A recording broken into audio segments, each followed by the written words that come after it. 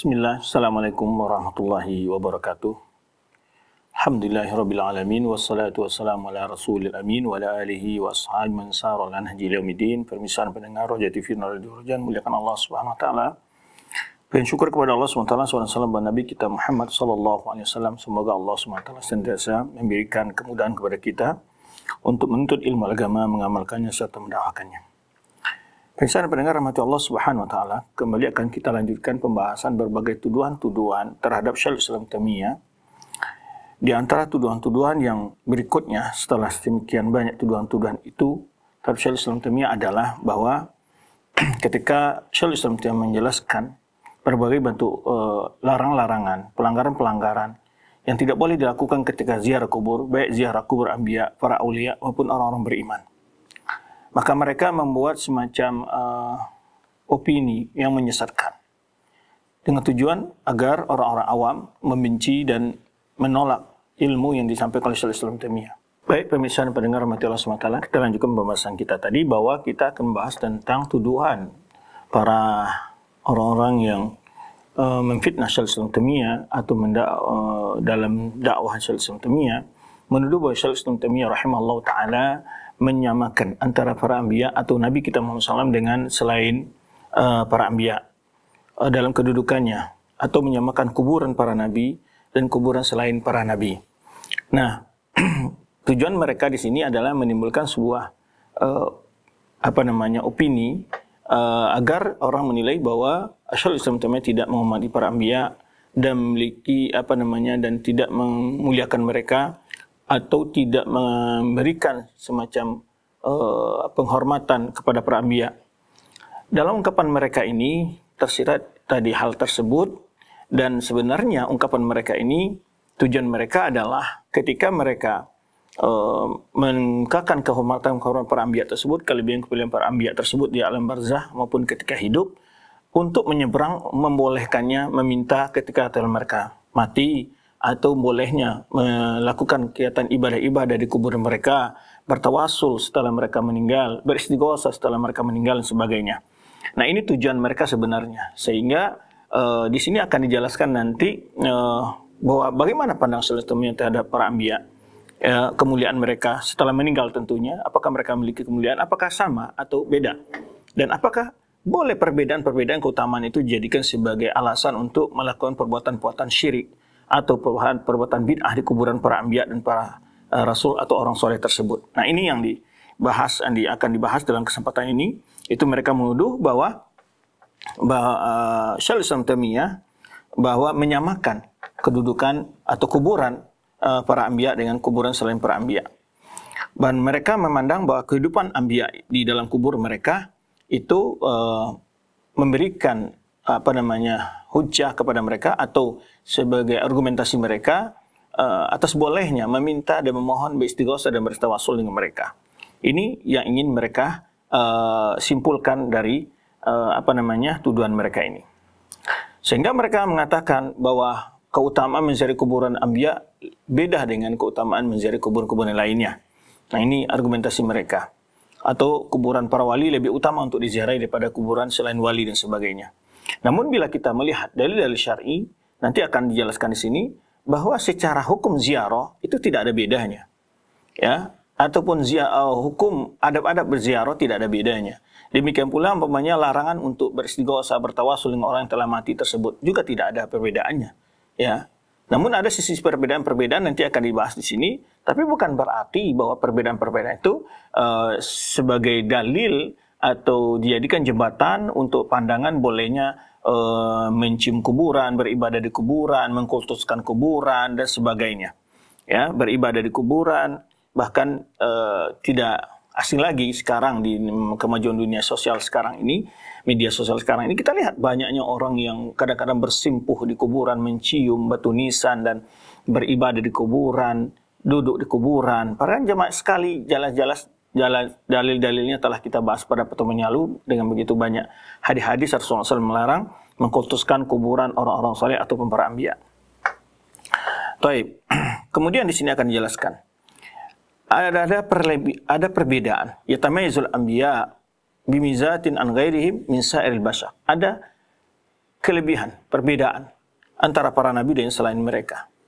Yaitu waqtasamallahu taala tasyrifan lahum wa rif'ah wa manzilah. Mereka memiliki kemuliaan, kedudukan yang tinggi di sisi Allah SWT.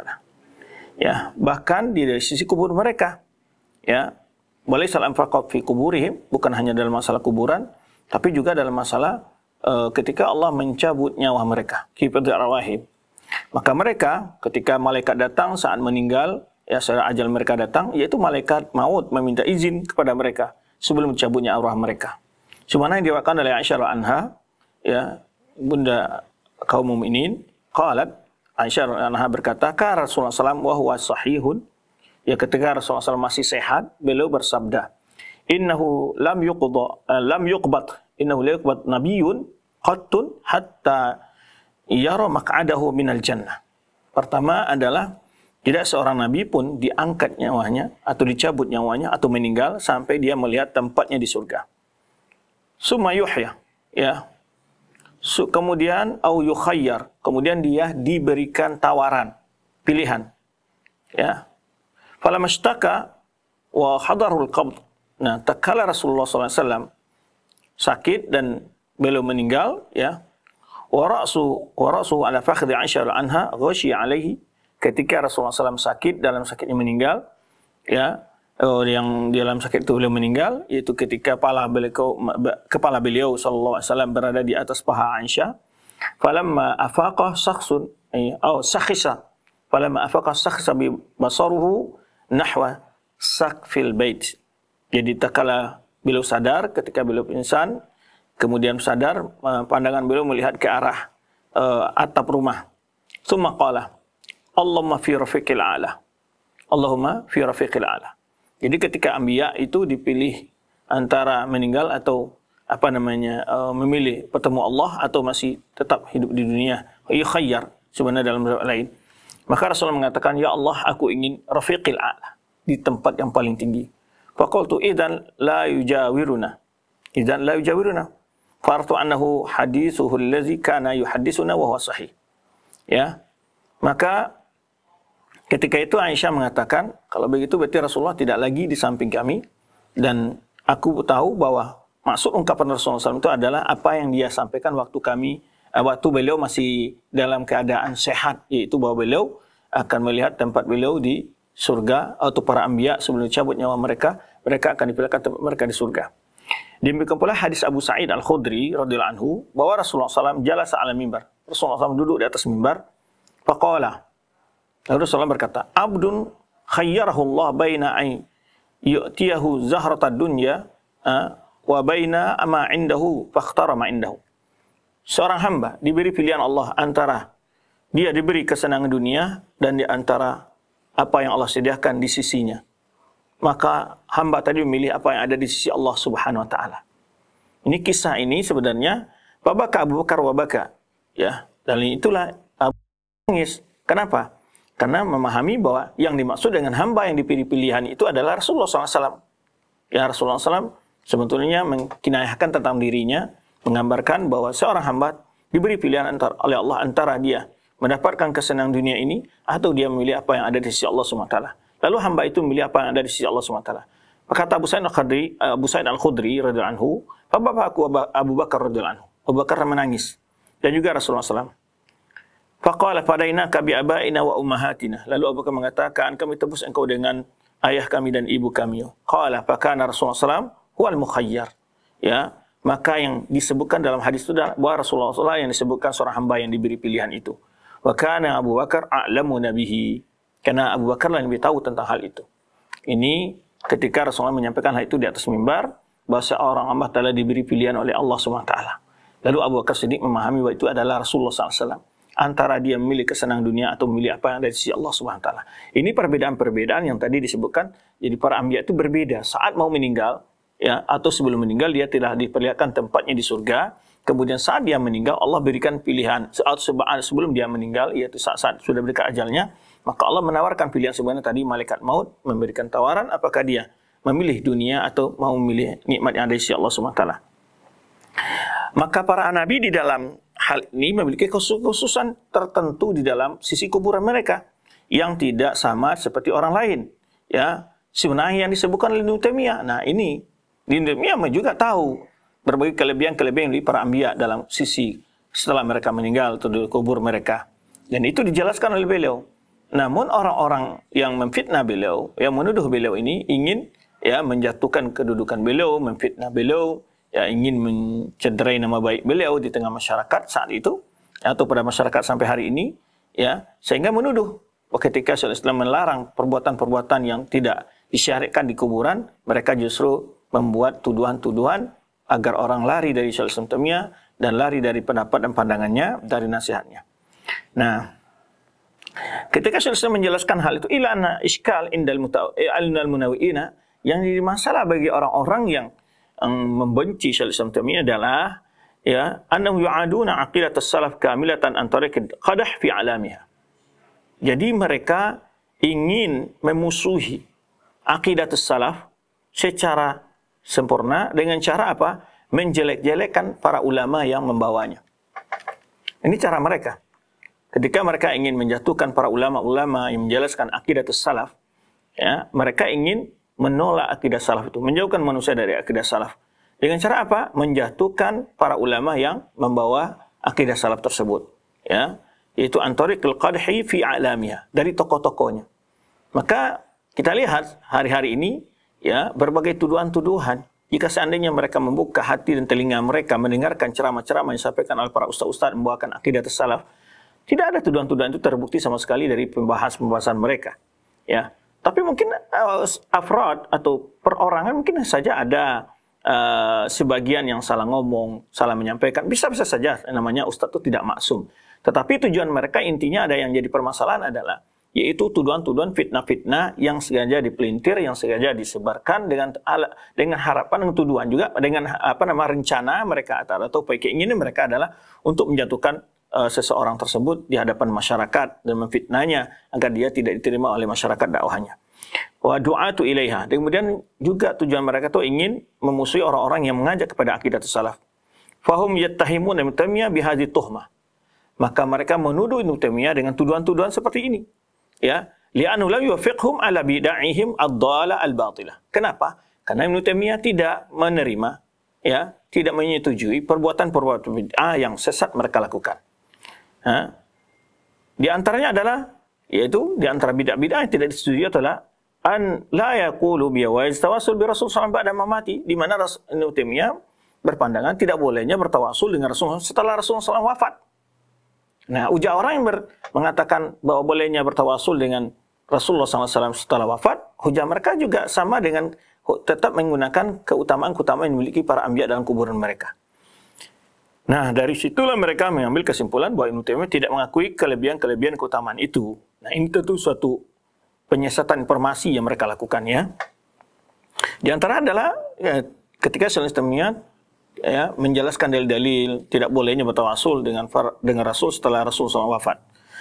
Kemudian atau beristighosa dengan Rasul SAW. Wadama am kadzali faqad iftaru alaihi bi anna wisawi fil manzila baina kubur al-anbiya wa kubur ghairihim. Kalau demikian halnya, maka karena itulah mereka iftarau membuat kebohongan terhadap Syaikhul Islam yaitu kebohongan itu yang dituduhkan adalah bahwa Ibnu Taimiyah menyamakan kedudukan antara kuburan para nabi dan kuburan selain para nabi. Nah.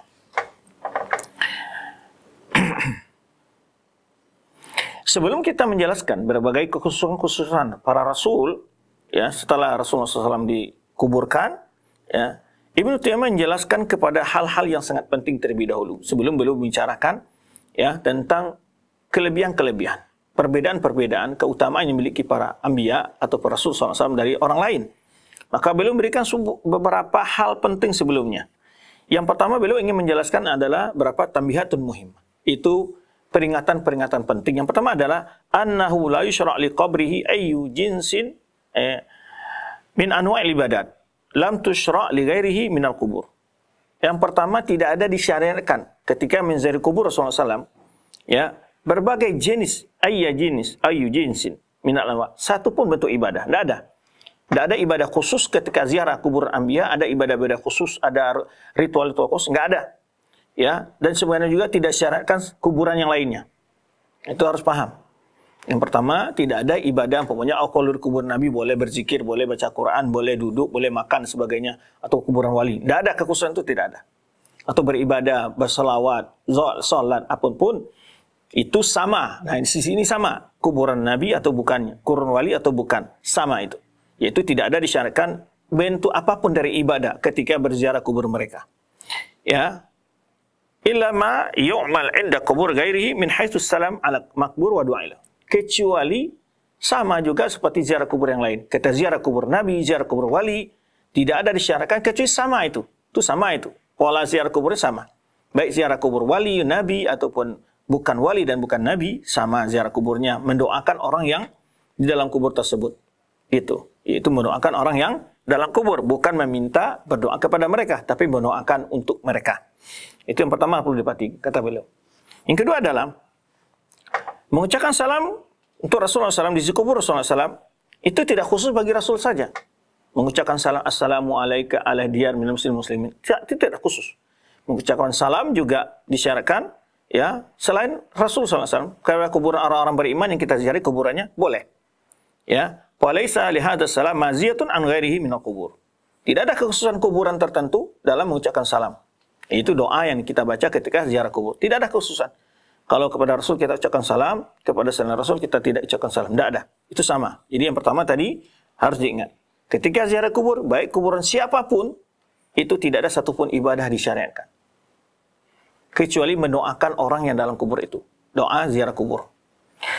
Yang kedua kata beliau adalah ketika ziarah kubur, mengucapkan salam kepada orang yang dalam kuburan itu sama seperti siapa para ambia, para aulia, kemudian bukan para aulia pun atau orang-orang beriman yang biasa.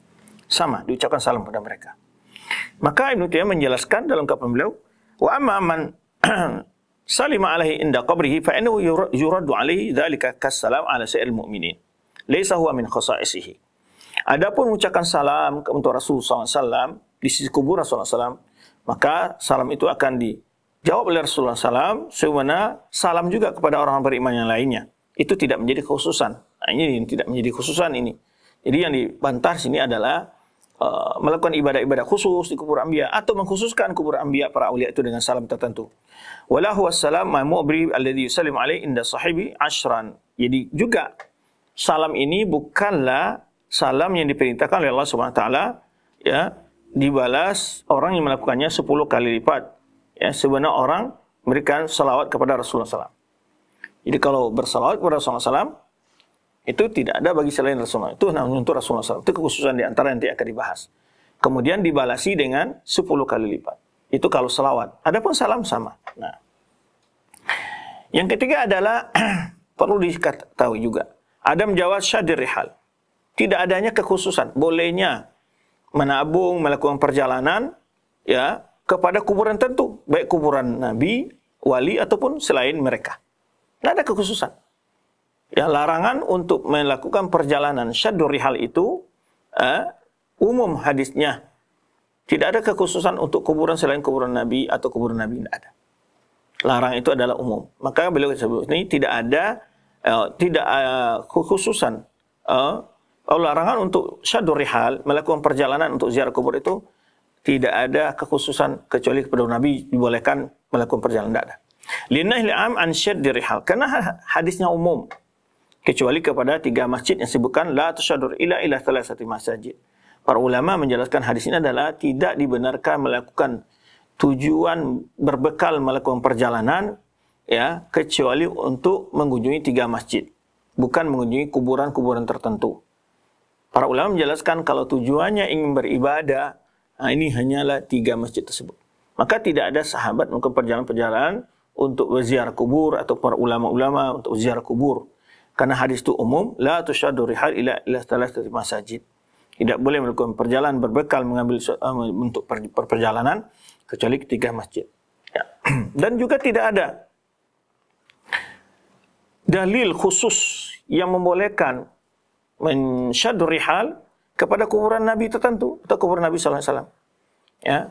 Maka Ibnu Taimiyah menjelaskan amas safar ila mujar ziyarah qabr al-Khalil. Ah, ini di antara juga adapun orang melakukan perjalanan sekadar untuk ziarah kubur Khalil itu Nabi Ibrahim di Palestina atau lainnya dari kuburan-kuburan para anbiya atau kuburan orang soleh ya dan masyahidihim ataupun bangunan-bangunan ataupun wa asarihim ataupun peninggalan-peninggalan mereka falam yastahibhu ahadun min amatil muslim. Tidak ada satupun ulama yang mengatakan hal itu dianjurkan ya dari ulama muslimin.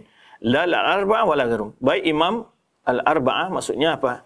Itu imam mazhab yang empat maupun ulama-ulama lainnya kata Syekh Islam itu Ibnu Taimiyah. Jadi tidak ada ulama yang menganjurkan melakukan perjalanan untuk menuju kuburan tertentu. Ya, itu kata beliau baik dari madhab empat imam yang masyhur itu dari madhab Hanafiyah, Malikiyah, Syafi'iyah maupun dari Hanabilah.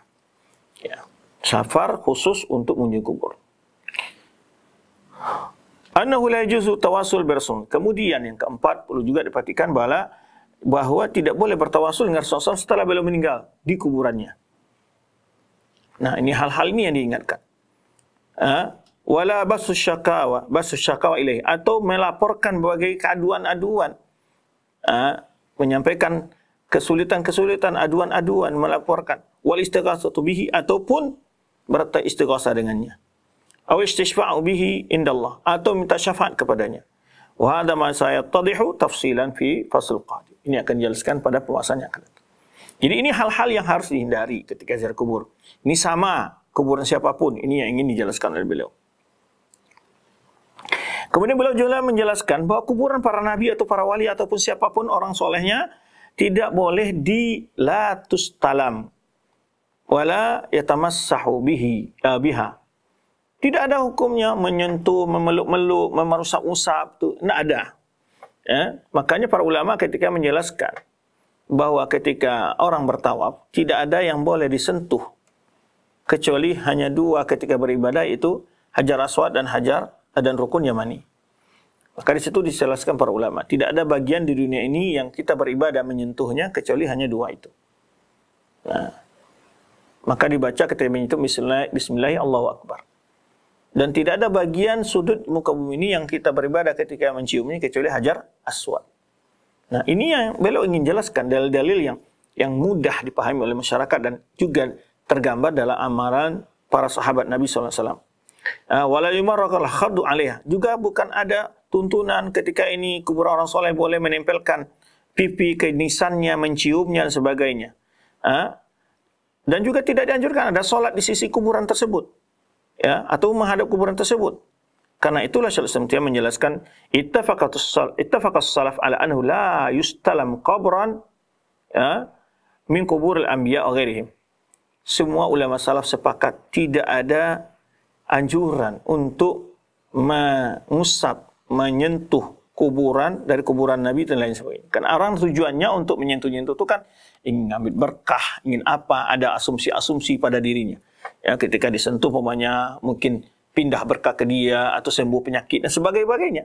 Ada uh, semacam etiqad dalam hati mereka. Ada semacam doktrin dan keyakinan dalam hati mereka ketika menyentuh itu. Menganggap bahwa ini akan dapat pahala bahwa bukti cinta kepada dia dan sebagainya. Ya. Maka dan juga tidak dianjurkan solat di kuburan atau berdoa di kuburan para nabi ya untuk berdoa maksudnya apa? Selain doa yang ziarah kubur ya. Maksudnya menganggap bahwa berdoa di kuburan Nabi itu lebih mustajab dari selain kuburan lain. Itu tidak ada dalil sama sekali. Bahkan doa mustajab itu di tempat-tempat yang suci seperti apa? Seperti masjid ya. Dan tempat-tempat mustajab lain Arafah ketika musim haji.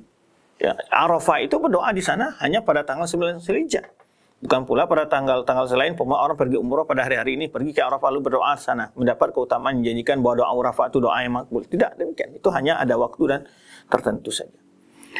Baik. Kemudian uh, ya tidak pula tujuan berdoa di situ. Lian hadil umur kanat min asbab syirki wa ibadatillah. Kenapa? Karena perkara-perkara ini awalnya lah sebab-sebab menjatuhkan orang ke dalam kesyirikan. Mulanya berdoa kepada Allah di sisi kuburan soleh. Menganggap tempat itu berkah, menganggap itu mustajab dan sebagainya. Pada akhirnya dengan beransur-ansur syaitan mengiring orang untuk berbuat syirik. Dan pada akhirnya mereka meminta sendiri kepada penghuni kubur tersebut. Nah ini kan nyata dalam perbuatan sebagian masyarakat yang mereka memang jelas-jelas meminta benar kepada orang dalam kuburan tadi. Yang keenam, anna da'i la yataharra du'a inda qabr li dhanni anna du'a istajab fi hadhihi al-buq'ah akthar minhu fi ghairiha. Bahwa orang berdoa jangan ya yataharra, maksudnya adalah uh, benar-benar memilih agar berdoa di sisi kubur karena dia mengira persangkaannya li dhannihi dalam anggapannya bahwa doa dianjurkan di kuburan tersebut, di tempat tersebut. Bal nas'ala ulama ala khilaf dzalika kama qala Ibnu Taimiyah. Bahkan para ulama melarang hal itu. Ya. Wa ma hadza yakul ahad minhum anna du'a mustahabun oh, mustajabun inda qabri. Lam yakul ahad minhum an inna du'a mustajabun inda qabri. Tidak ada satupun ulama mengatakan bahwa doa di kuburan orang soleh, kuburan Nabi atau kuburan Nabi SAW berdoa di sana itu lebih mustajab. Tidak ada seorang ulama mengatakan demikian. Wala annahu yustahab an yataharra du'a mutawajjihan ila ataupun tidak pula ada anjuran agar memilih berdoa menghadap ke kuburan Nabi SAW. Bal nasu ala naqidi dhalik. Bal yang da, bahkan yang ada dari para ulama-ulama adalah awan dari itu larangan untuk melakukan hal itu. Wattafaqu kulluhum ala annahu la yud'a mustaqbilal qabri dan mereka sepakat tidak boleh berdoa menghadap ke kuburan. Nah, ini jadi penjelasan-penjelasan di atas tadilah yang memancing timbulnya fitnah tuduhan-tuduhan dari orang-orang yang tidak senang. Jadi orang-orang yang tidak senang terhadap penjelasan-penjelasan Syaikhul tentang bagaimana seharusnya ziarah kubur. Taib.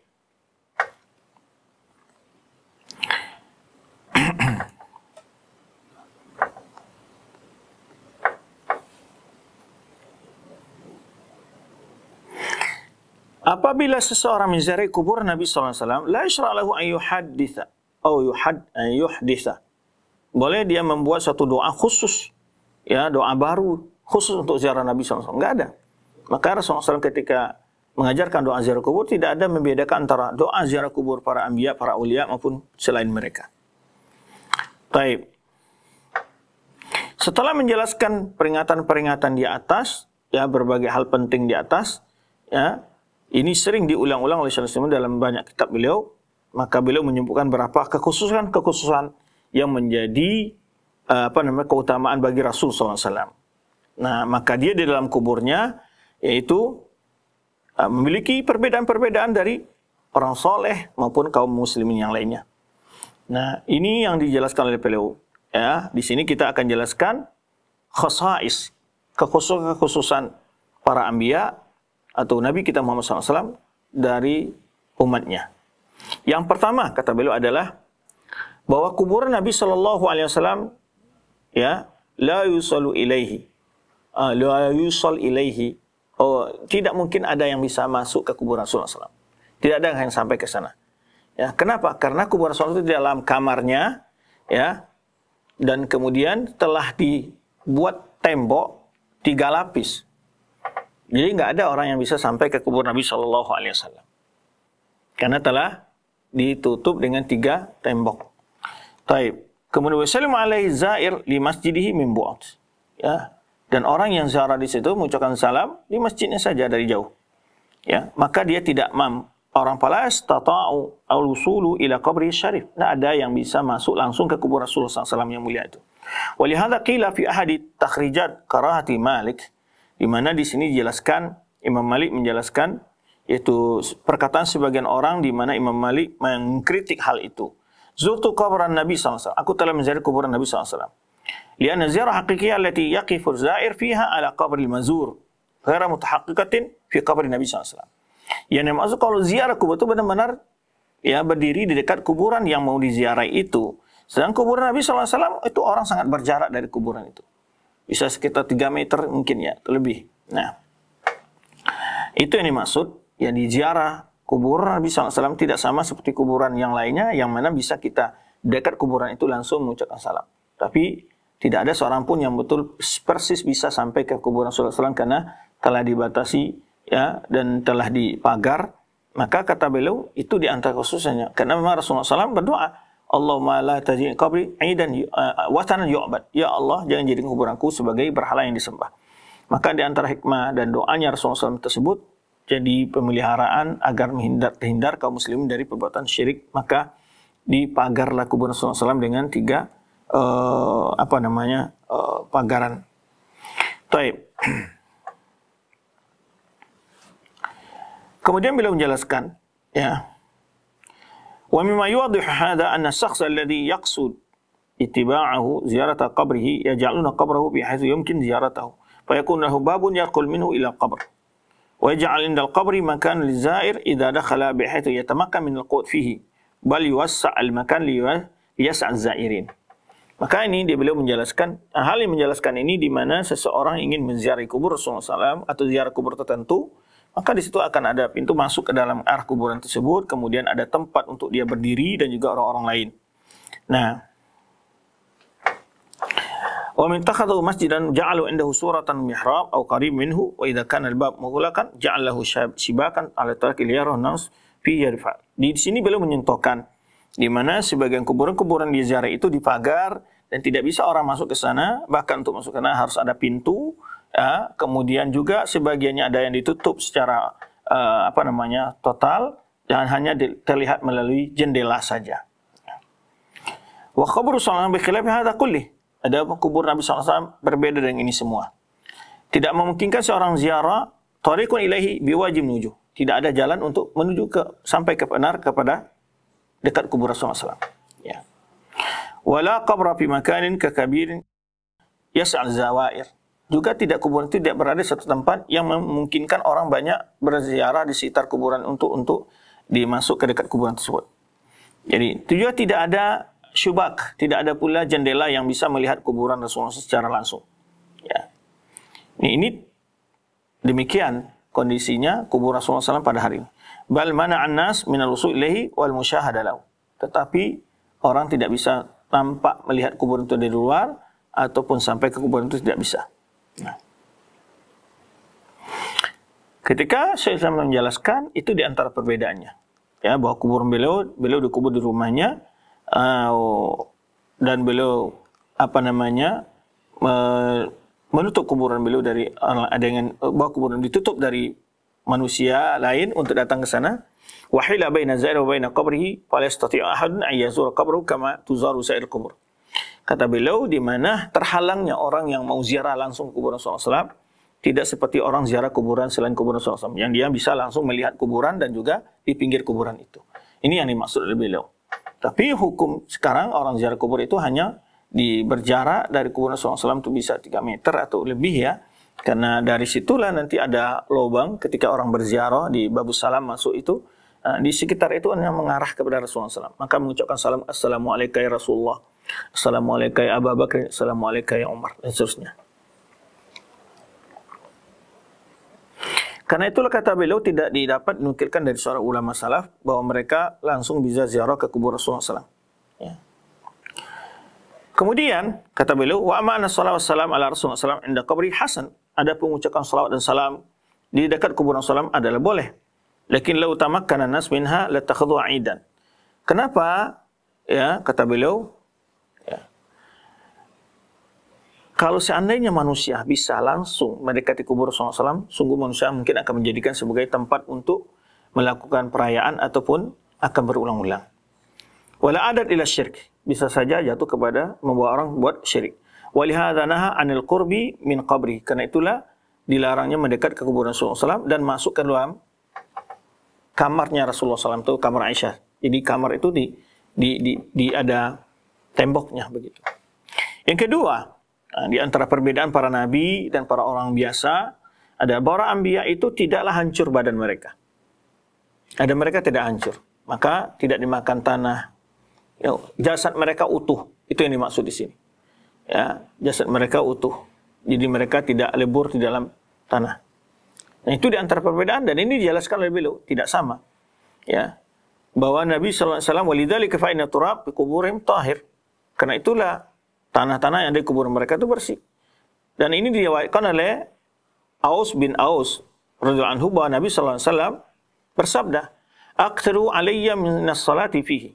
Perbanyaklah ala kalian bersalawat kepadaku fihi yakni pada hari Jumat. Ini pada hari ini pemanya maka Rasulullah menganjurkan khairu ayyamikum yaumul jum'ah sebaik-baik hari kalian adalah hari Jumat fa aktsaru alayya minas salati fihi maka hendaklah kalian banyak bersolat kepada aku pada hari Jumat itu kata Rasulullah sallallahu alaihi wasallam fa inna salatakum ma'rudatun alayya. Karena salawat-salawat kalian itu kata Rasulullah SAW disampaikan kepada aku. Ada malaikat yang menyampaikan salam kita kepada Rasulullah SAW itu malaikat disebutkan dalam sabda beliau yang lain itu inna lil malaikatun siyahin yuballighuna an ummatis salam. Bahwa Allah punya malaikat yang bertugas yang namanya malaikat siyahin yang menyampaikan salam umat Nabi Muhammad kepada Muhammad Nabi Muhammad SAW. Lalu ada sahabat mengatakan ya Rasulullah bagaimana salawat salat kami disampaikan kepadamu bukankah engkau ya sudah hancur tulang belulangmu dimakan tanah. Ini ini paham sahabat ya ketika itu menganggap bahwa para anbiya pun hancur uh, apa namanya badannya di telan tanah. Maka Nabi SAW menjelaskan Allah harrama 'alal ardi an ta'kula ajsadal anbiya. Nah, semua nabi diharamkan oleh Allah SWT tanah untuk memakannya. Jadi jasad mereka utuh, tidak rusak. Nah, ini yang dimaksud.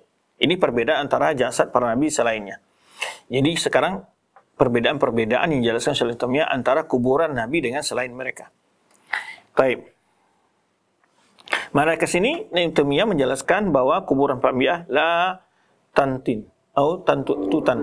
Artinya tidak apa namanya uh, berbau. Uh, natan itu aslinya bau ya tidak berbau tidak najis. Balil anbiya uh, la yablun dan juga para anbiya itu apa namanya la yablauna artinya tidak hancur. La yablauna tidak hancur jasad mereka. Wa turab kuburihim tahir dan tanah kuburan mereka suci. Ini di antara jelaskan oleh Syekh Nutamiyah ketika membedakan antara kuburan para anbiya dengan lainnya. Ini untuk menjawab ya, mereka mengatakan bahwa Ibnu Taimiyah menyamakan antara kuburan nabi dengan selainnya. Yang ketiga adalah para anbiya Nah, perbedaannya Nabi dengan yang lain-lain Nabi dan masalah kuburan adalah bahwa Nabi dikuburkan di mana pun mereka meninggal, di tempat mereka meninggal. Itu istinya ya bahwa anbiya yudfanun haitsu yamutun. Nah, ini perbedaan lagi ini bahwa anbiya dikubur di tempat mereka meninggal itu sendiri. Maka itulah Nabi Muhammad SAW dikuburkan di mana? Di kamar Aisyah karena beliau wafat di kamar Aisyah tersebut di rumah beliau. Maka ini dalil yang disebutkan oleh Abu Bakar Siddiq anhu bahwa ketika mereka berbeda di mana saat Rasulullah wafat di mana Rasulullah mau dikuburkan maka Abu Bakar Siddiq anhu menyampaikan sabda Rasulullah bahwa anbiya yudfanun haitsu yamutun bahwa para anbiya itu dikuburkan di tempat mereka meninggal. Nah, ini perbedaan-perbedaan yang dijelaskan oleh Ibnu Taimiyah. Kemudian beliau juga merupakan hadis ya untuk menjawab ini tuduhan mereka mengatakan Ibnu menyamakan antara kuburan Nabi dengan selainnya.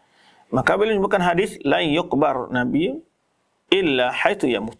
Tidak seorang nabi pun kecuali dikuburkan di tempat dia meninggal. Yang keempat perbedaannya adalah ya Anna Rasulullah SAW yud'alahu min bu'din wa min kurbi. Wa min kurbin.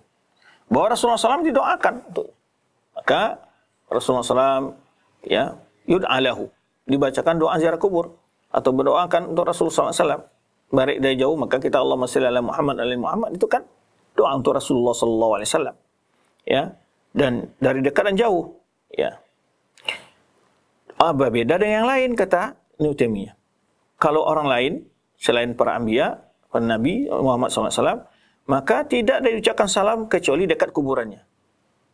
Kenapa? Karena tidak dengar. Nah, kalau dia di dekat kuburannya baru dijawab oleh dia. Tapi kalau Nabi SAW ada malaikat yang menyampaikan. Maka oleh itu mengucapkan salam dari dekat jauh sampai kepada Nabi Muhammad SAW. Ini perbedaannya. Wassalamun ala Rasulullah SAW min bu'adin au kurbin yubalighuhu Rasulullah SAW yubalighuhu Nabi SAW wa yuradu alaihi. Kita memberikan salam maka akan sampai kepada Rasulullah walaupun jauh sekalipun. Maka oleh sebab itu uh, perkataan Imam Malik, ma'an tabi Imam Indalus ya ya tidak ada bedanya engkau di Madinah ini atau engkau di Andalus mengucapkan salat salam salam sampai kepada Nabi sallallahu alaihi wasallam. Ya.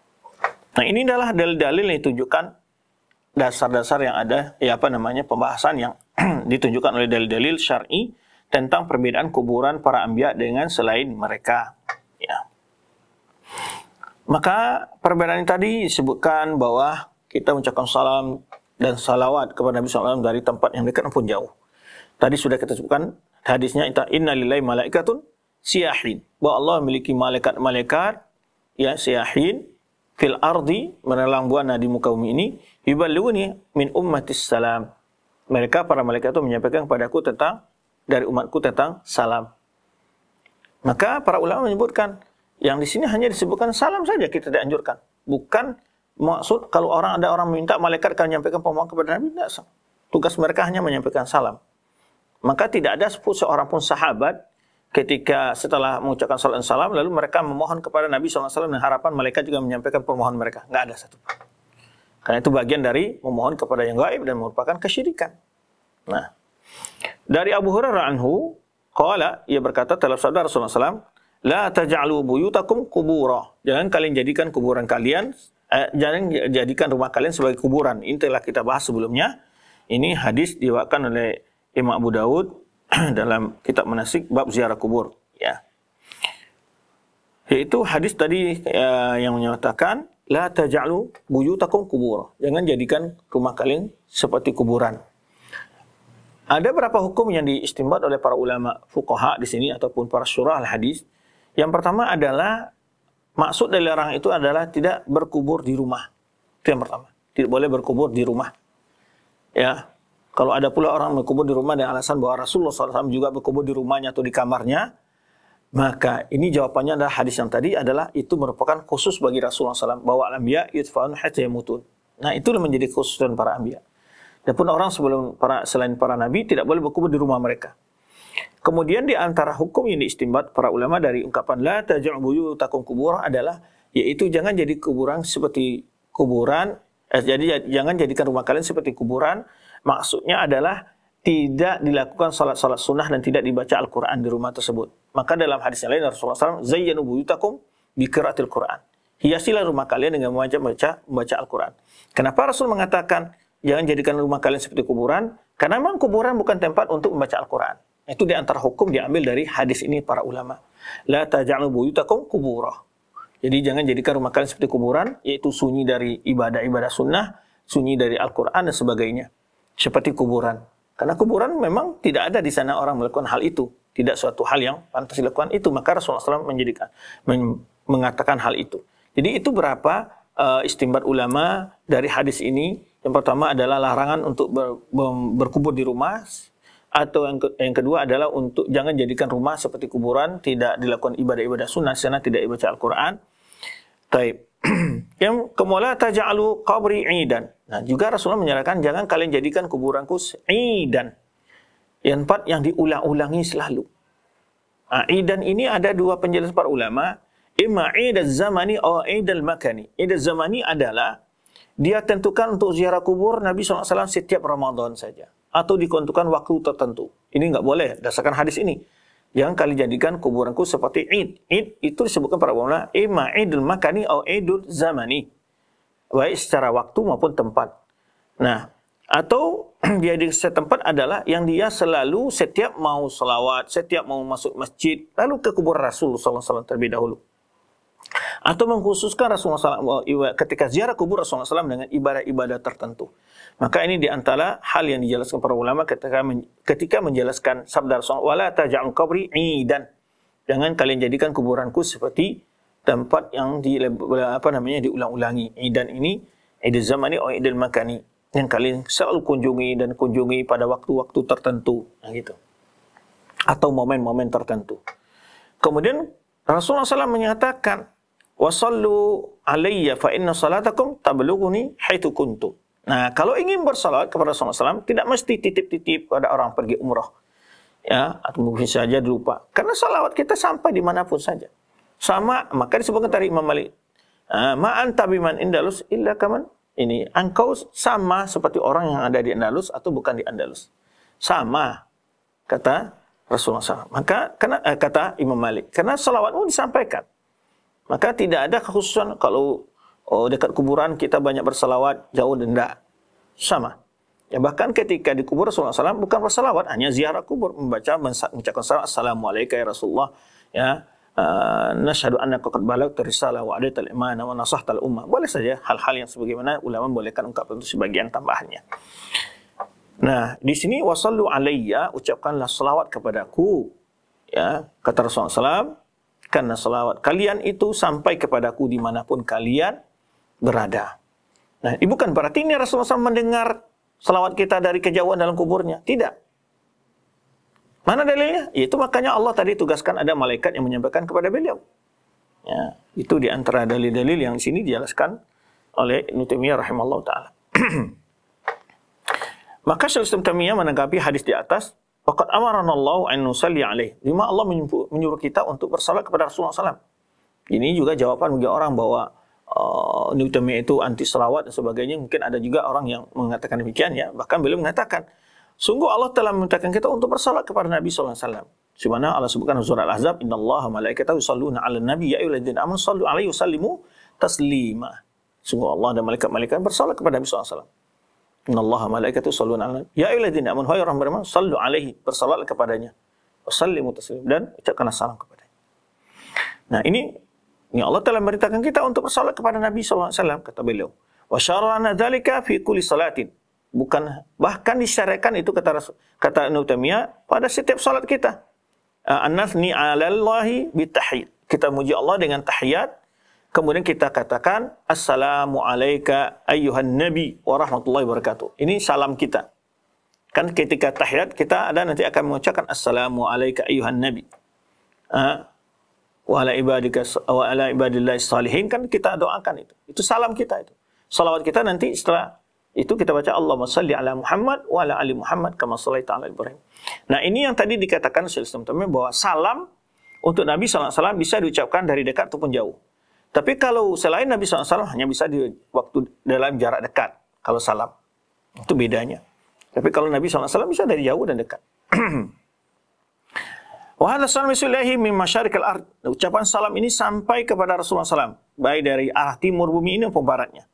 Ya, Wa kadzalika idza shallaina alaihi demikian pula bila kita bersolat kepada Rasulullah SAW Allahumma salli ala Muhammad wa ala ali Muhammad kama shallaita ala Ibrahim wa ala ali Ibrahim innaka Hamidum Majid ila akhir salat. Baik. Para Rasul SAW ya yush'ir bis salami alaihi diberitahu uh, tentang salam kepadanya wa yublu bihi yuballagu bihi min kibal malaika yang mana dia disampaikan kepadanya oleh para malaikat. Demikian pula Ibn Taimiyah menjelaskan, Syaikhul Islam Taimiyah rahimahullah menjelaskan, wa makun Nabi sallallahu yush'ir bis salam alaihi. Adapun Nabi sallallahu yang mengetahui ucapan salam kepadanya, maka ini benar. Wa yaqtadi anna halahu ba'da mauti aqbal min halihi qabla maulidi. Di mana kondisi Rasulullah SAW setelah wafatnya lebih sempurna sebelum beliau lahir. Wa qala aidan, Ibn Taimiyah juga menyatakan, fa hadhihi hadis tadullu ala anna salat wassalam yu'radan alaihi. Ini buktikan bedanya bahwa beliau mengatakan bahwa ungkapan salat dan salam itu disampaikan kepada Rasulullah SAW. Wa anna dzalika yaslu haitsu ma kunna. Dan bahwa salawat dan salam kita sampai kepada Rasulullah di mana pun kita berada. Nah. Lalu ada pertanyaan di sini. Lakin hal yasma' salatan wa salam al-ba'id am yu'radana alaihi? Nah, Apakah ketika Rasulullah SAW diucapkan kepada ucapan salat dan salam dari jauh, apakah atau disampaikan kepadanya? Watablu bihimal malaika yang menyampaikan adalah malaikat. As-sawab ali amatu ahli. Yang benar adalah pendapat para umum para ulama adalah bahwa hadis-hadis yang telah kita bacakan di atas bahwa hal itu disampaikan kepada Rasulullah SAW. Kecuali seseorang mengucapkan salam di dekat kubur Rasulullah SAW. Baik. Adapun orang mengatakan bahwa dia mendengar salawat kita dari kejauhan, pamumtani'un maka itu adalah tidak mungkin dilar amumtani itu tidak tidak benar itu maksudnya fa idza arda usul sautil musalli ilai fa hada mukabaratun kalau dia mengatakan pokoknya salawat dari jauh kita dari Indonesia terdengar oleh Nabi SAW ini adalah suatu hal yang bertentangan dengan dalil-dalil ya, tidak mungkin uh, tidak waktu waktu dia mengatakan bahwa sampainya ucapan mendengar suara orang yang salat bersalat kepadanya tapi beliau diberitahu oleh malaikat sesuai dengan dalil yang telah kita sebutkan tadi. Nah, fa in arada annahu yuha yakunu yasma aswatul khalaiq min ba'id falaysa hada illa lillah. Apalagi ada orang mengatakan bahwa Rasulullah SAW dapat mendengar sebagai ungkapan makhluk yang lain-lain. Atau saya mengetahui kejadian umatnya di dunia saat sekarang ini di dalam kuburnya.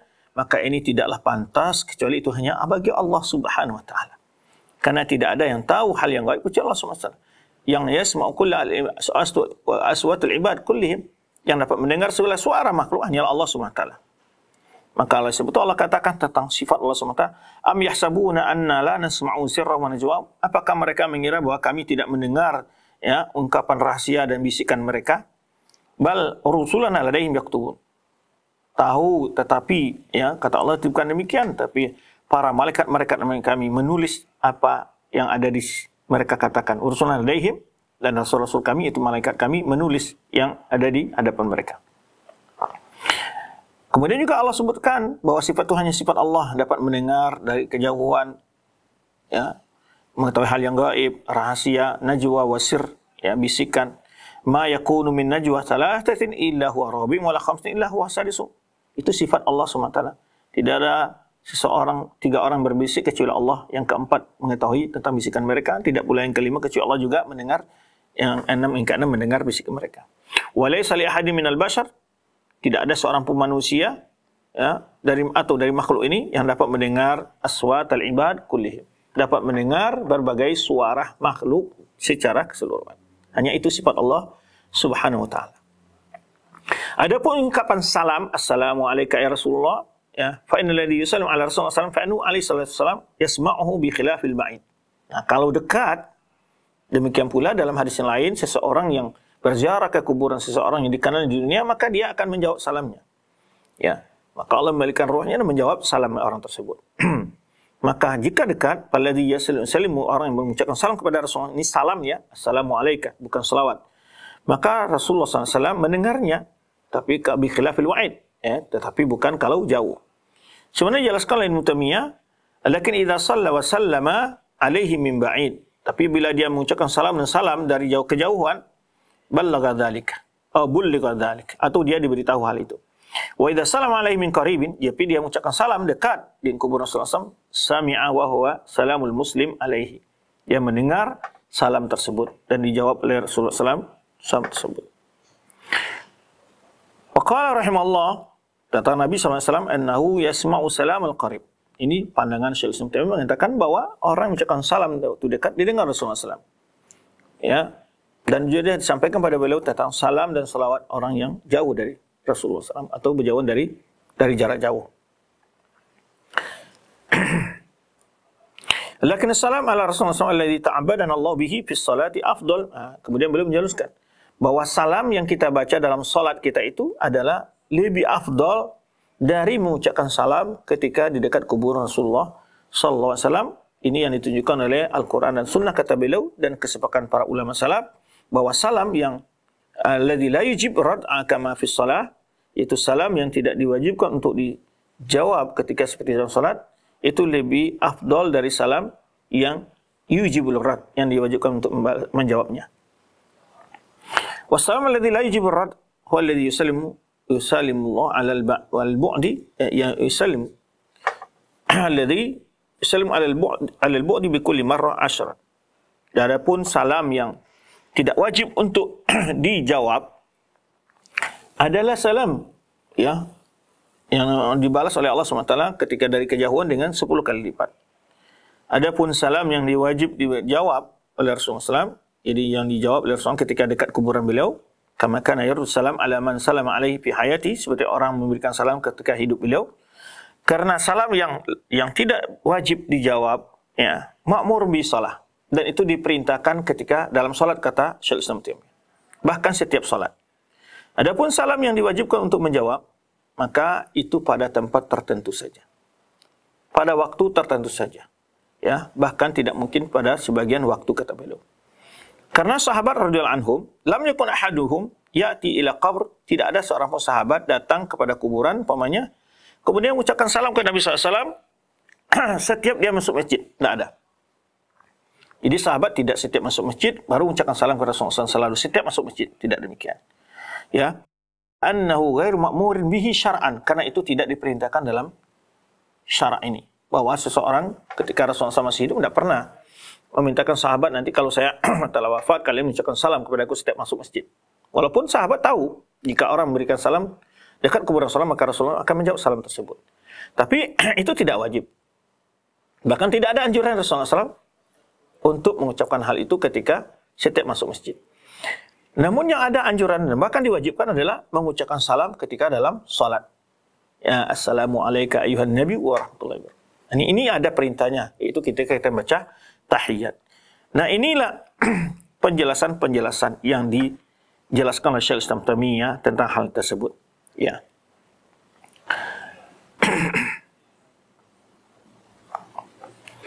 Kemudian beliau mengatakan, amma yaf'alun nas fi ziyarati qabri Rasul SAW. Yang kelima beliau memberikan peringatan. Adapun yang dilakukan oleh sebagian orang ketika ziarah kuburan Nabi SAW, dekat kuburan SAW, oh, indah kubur mayyazurnahu, atau kuburan yang mereka ziarahi, mengucapkan salam dan doa, fa'anu yaf'al mithluhu wa aktar minhu li Rasul SAW fi mawadi' muta'adiyah fi ibadat.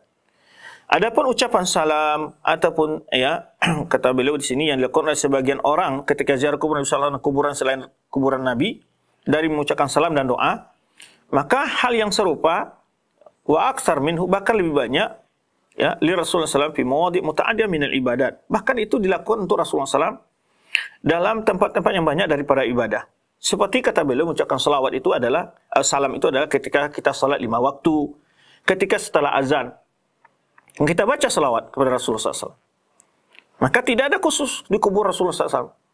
Tapi kita baca dari momen-momen yang banyak dianjurkan kita mengucapkan salawat ketika sholat, ketika setelah azan, ketika masuk masjid disunahkan bersalawat, ketika keluar dari masjid, ketika setiap kita mau berdoa, ya. Fala yakhtassu salam ala Rasulullah alaihi inda qabrihi. Tidak ada kekhususan membacakan salawat dan salam dekat kubur Rasulullah SAW. Tetapi itu dalam banyak ibadah, memang ibadah kata beliau, itu kita disyaratkan. Ya. Maka beliau menjelaskan bahwa kan salam salat dan salam kepada Rasulullah SAW dekat kuburan beliau ya afdal minhu inda qabrihi ya. Bayana an qad bayana tabayyana anna salatu salam ala Rasulullah SAW inda ghair qabrihi afdal minhu inda qabrihi. Maka oleh sebab itulah beliau mengatakan mengucapkan salat dan salam ya dengan di, tidak di dekat kuburan Rasulullah SAW kata beliau itu lebih utama daripada dekat kuburan. Kenapa? Karena memang anjuran dan contoh perbuatan yang diajarkan Rasulullah SAW dalam ibadah-ibadah kita azan. Ya, tidak ada sahabat ketika menjawab azan lalu mendekat ke kubur Rasulullah lalu dia bersalawat. Tidak ada. Maka ini yang dijelaskan oleh beliau bahwa di sana banyak sekali momen-momen kita dianjurkan untuk bersalawat salam kepada Nabi Shallallahu Alaihi Wasallam kata beliau dalam ibadah-ibadah kita. Itu lebih afdol karena itu diperintahkan kata beliau. Adapun bersalawat di dekat kuburan beliau mengucapkan salam, ya tidak ada anjuran untuk bersalawat dekat kuburan beliau. Ini yang ingin kita beliau jelaskan. Nah ini mungkin juga jawaban bagi sebagian kaum muslimin yang hari-hari ini ya bernyanyi-nyanyi, berdendang dengan selawat-selawat yang mereka bikin, dengan selawat-selawat yang dimodifikasi dekat kubur Rasulullah SAW. Selawat yang diajarkan Rasulullah SAW saja tidak pernah beliau menjelaskan atau contoh dari para sahabat kalau mereka ziarah kubur Rasulullah SAW mengucapkan selawat. Hanya mengucapkan salam saja. Taib. Kemudian perbedaan yang lain disebutkan Syaikhul Islam Tamiyah antara Nabi atau dengan orang selain Nabi adalah bahwa Nabi SAW atau para ambiya itu hidup dalam kuburan mereka. Ya, jadi masalah hidup inilah masalah oleh bagian orang bahwa menganggap kehidupan mereka di alam barzah seperti hidup mereka di alam dunia. Nah, para ambiya hidup di kuburan mereka, para syuhada hidup di kuburan mereka. Maka tentang syuhada Allah SWT katakan dalam firman-Nya wala taqulu liman yuqtalu fi sabilillahi amwata au amwatun bal ahya'un walakin la yash'urun. Jangan engkau katakan orang yang telah meninggal di jalan mati syahid di jalan Allah itu mati, tapi mereka hidup. Tetapi kamu tidak menyadari, tidak mengetahui bagaimana hidup mereka di sana. Ya, wala yahsabanna alladziina qutilu fi. Janganlah engkau kira orang yang mati di jalan Allah ambuatan dalam keadaan mati dalam kubur mereka bal rabbihim yurzaqun. Mereka mereka itu hidup di sisi Tuhan mereka dan mereka diberi rezeki. Maka disebutkan dalam sejarah ketika terjadi banjir bandang di kota Madinah, kemudian di daerah Uhud tersebut keluarlah kuburan-kuburan syuhada Uhud yang pada akhirnya dikumpulkan dalam satu tempat yang sekarang dipagar, semua dikumpulkan di situ kuburan syuhada. Orang yang para saksi mata saat itu mengatakan bahwa bahwa mana tubuh-tubuh sahabat yang terluka itu masih mengeluarkan darah segar di saat keluar eh, keluar karena terjadinya banjir di kota Madinah. Kehidupan mereka dalam barzah tidak bisa dikiaskan dengan kehidupan mereka di dunia. Maka penjelasan ini karena panjang waktu yang batasi kita, insya Allah kita akan bahas tentang ini insya Allah hakikat kehidupan para ambiya di kubur mereka. Karena sebagian orang menganggap karena mereka hidup di kuburan mereka berarti mereka dapat mendengar segala uh, permohonan orang di dunia atau orang yang beristighosah di dunia kepada beliau setelah beliau wafat seperti beliau beristighosah kepada beliau saat beliau masih hidup. Ini yang perlu kita jawab insyaallah dalam pertemuan yang akan datang. Wallahu a'lam bishawab. Barakallahu fikum.